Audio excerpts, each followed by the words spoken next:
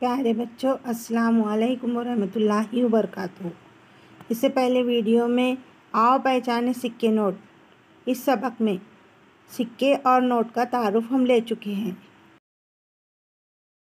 आइए, अब हम आओ पहचाने सिक्के नोट इस सबक का फरमाइशी, हिस्सा नंबर दो सीखेंगे।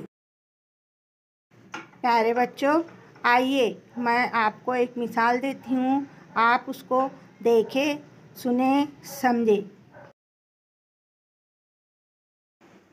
प्यारे बच्चों, ये देखिए, शाहिद और रज़िया अपनी अम्मी के साथ अपने मामू के गाँव आए हैं।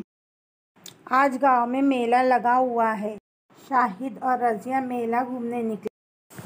तो मामू जान ने हर एक को सौ रुपये दिए। रज़िया और शाहिद मेले में पहुँचे। रज़िया को कुछ चीज़ें लेनी थी, पर दुकानदार के पास छुट्टे पैसे नहीं थे। रज़िया नंदू चाचा की दुकान पर पहुँची और सौ रुपए के छुट्टे मांगे। नंदू चाचा ने रज़िया को जो छुट्टे दिए वो इस तरह है। पचास की एक नोट, बीस के दो नोट, पाँच रुपए का सिक्का, दो रुपए के दो सिक्के और एक रुपए का एक सिक्का।